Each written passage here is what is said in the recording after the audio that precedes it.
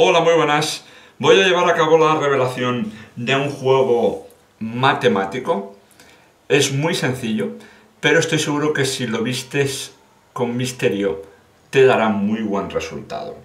Debes hacer lo siguiente, entregas la baraja a un espectador y le pides que la mezcle él libremente, tanto como quiera y como sepa, da exactamente igual. Una vez mezclada, le indicas que ponga la baraja boca arriba para observar los naipes y que piense en un número entre el 1 y el 10, el que quiera, el 3, el 4, el 5, da exactamente igual.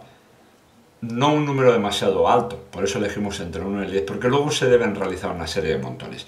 Mientras él hace eso, él observará, cuando haya pensado el número, supongamos que el 5, él observará qué carta ocupa el lugar elegido. O sea, que contará, sin que tú lo veas, una, dos, tres, cuatro y cinco cartas. Observará la carta, memorizará el número pensado y la carta que ocupa dicho lugar. Es decir, solo tiene que memorizar el número 5 y el 3 de diamantes. Sin tocar y sin hacer nada. Y a partir de aquí no queda más que recoger las cartas, que haga un corte y complete. Cuando él haya realizado dicha extensión, más o menos amplia, mejor o peor realizada, tú solo debes hacer lo siguiente. Observar la carta que se encuentra en bottom, en la última posición, según las vemos de dorso. ¿De acuerdo? Bien. Él corta y completa y le indicas que, dado que tú no has observado, no has mirado y él no te ha dicho en ningún momento el número y la carta obtenido, debes realizar, incluso sin verlo tú si lo deseas, tantos montones y echando cartas una a una como el, el, número elegido. Es decir, que como eligió el 5, echará cartas de una en una realizando 5 montones. Queda claro, ¿verdad? Vale, pues hecho esto, el espectador procede y realiza los cinco montones echando cartas una a una, es muy importante, empezando por la izquierda y acabando por la derecha, sin alterar el orden en ningún momento. Y como ya he comentado, tú puedes no observar las cartas. Si no completa, porque el número no da para un múltiple exacto de 52 cartas, se acaba en el medio, en la segunda la tercera, no pasa nada. Una vez realizados los cinco montones, le indicas que debe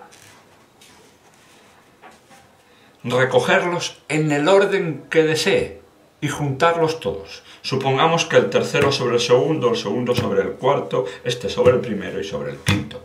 Da exactamente igual.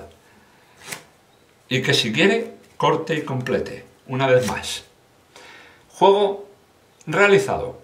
Hombre, el efecto no, claro, pero el truco listo y preparado. Cogerás la baraja, la observarás y con el pretexto de que vas a adivinar su carta, las irás pasando y observarás. ¿Qué harás? Buscar tu carta clave.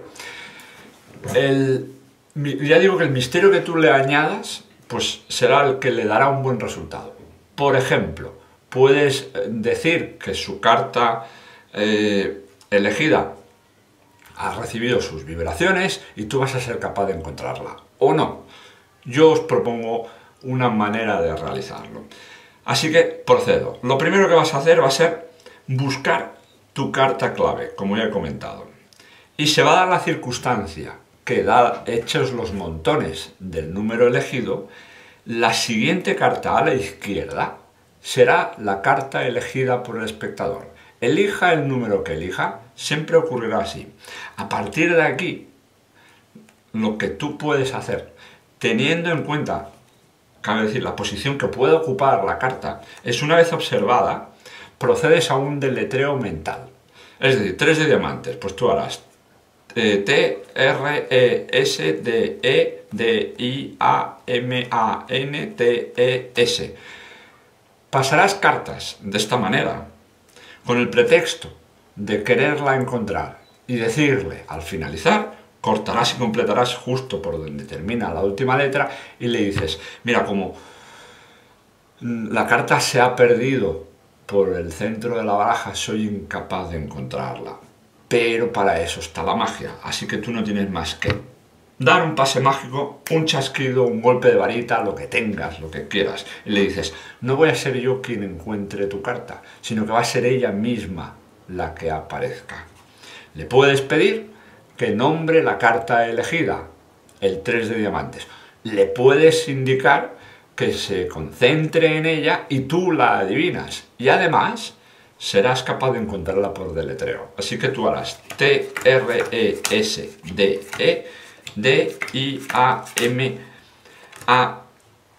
ya me pierdo, T-E y S, diamantes, tres de diamantes. Deletrearás las letras de la carta elegida y lanzarás una por cada letra correspondiente a la carta elegida.